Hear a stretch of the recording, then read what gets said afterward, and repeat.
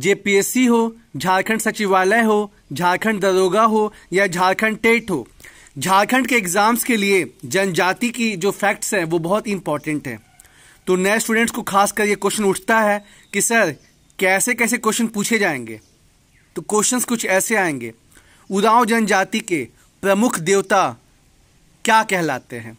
मुंडा मांग की शासन व्यवस्था किस जनजाति की है? ओल्च की लिपि किस जनजाति की लिपि है। झारखंड में सबसे बड़ी आदिम जनजाति, यानी कि प्रिमिटिव ट्राइबल ग्रुप कौन सी है? ताना भगत आंदोलन किस जनजाति द्वारा चालू किया गया था? मुंडा गाँव के धार्मिक प्रधान को क्या कहते हैं? किरिंग बापला, किनका सर्वाधिक प्रचलित विवाह है? तो नाम सुन के जो है विचलित ना हो। पर चूँकि ये जनजाति है तो कुछ इनके नाम जो है वो हट के रहेंगे ही। कुछ जो इनका सिस्टम है वो हट के रहेगा ही। पर आप जब इसको पढ़ेंगे, जानेंगे तो ये सारे क्वेश्चन आपके लिए केकवाक हो जाएँगे और आप इसमें से मोस्ट ऑफ़ द आंसर्स आसानी से कर पाएँगे। फिर एक सवाल और उठता है स्टूडेंट्स के मन में कि, सर, झारखंड में 32 अनुसूचित जनजाति हैं शेड्यूल ट्राइब तो क्या सबको डिटेल में जानना है? तो जवाब है नहीं। चार को डिटेल में जाने। संथाल नंबर वन पे है, उदाव नंबर टू पे मुंडा थ्री और फोर्थ पे हो। ये हम पॉपुलेशन के हिसाब से बता रहे हैं। और 32 में से आठ जनजाति जो है, वो आदिम जनजाति है, यानी कि प्रिमिटिव ट्राइबल ग्रुप तो आपको ये जानना है कि वो कौन सी आठ प्रिमिटिव ट्राइबल ग्रुप है? और 32 में से इन चारों को आपको डिटेल में जानना है। संथाल को, उराव को, मुंडा को और हो को।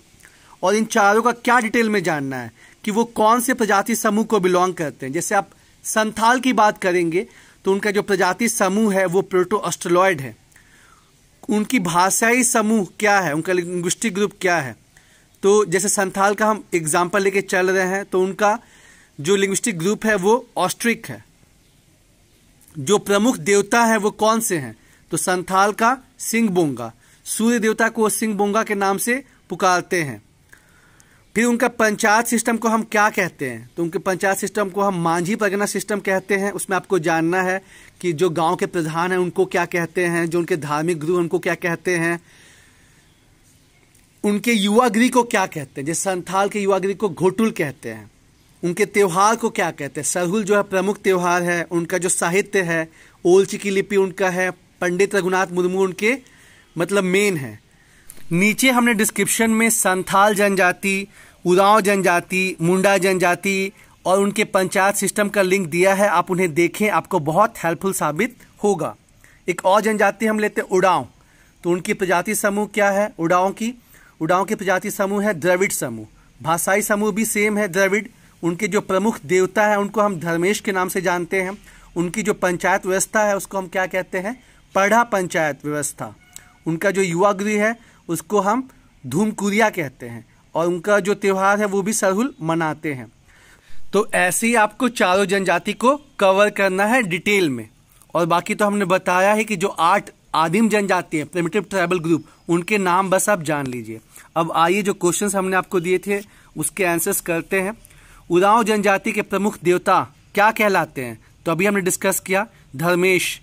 मुंडा मांड की शासन व्यवस्था किनकी है?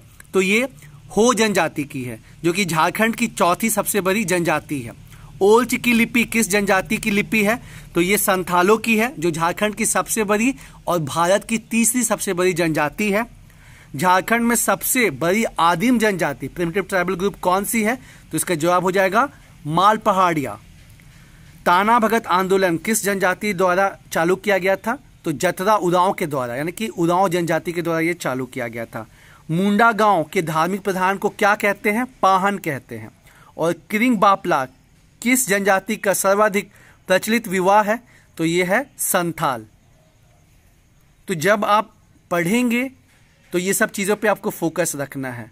कौन सी प्रजाति समूह, कौन सी भाषाई समूह, उनका जो पंचायत शासन व्यवस्था है, उसका क्या नाम है, उसके जो प्रधान है, उसका क्या नाम है, उनके धार्मिक गुरु का क्या नाम है, उनकी जो प्रमुख त्यौहार है, वो क्या है? जो प्रमुख साहित्य है, वो क्या है? तो आपसे कोई क्वेश्चन फिर नहीं छूटेगा। तो दोस्तों, अगर आपने हमारा चैनल नहीं सब्सक्राइब किया है तो अभी सब्सक्राइब करें शेयर करें और हम आपको प्रॉमिस करते हैं कि हमारे वीडियोस देख के आपको एग्ज़ाम में काफ़ी हेल्प मिलेगा। तो फ्रेंड्स मेहनत होगी, जीत होगी। All the best and thank you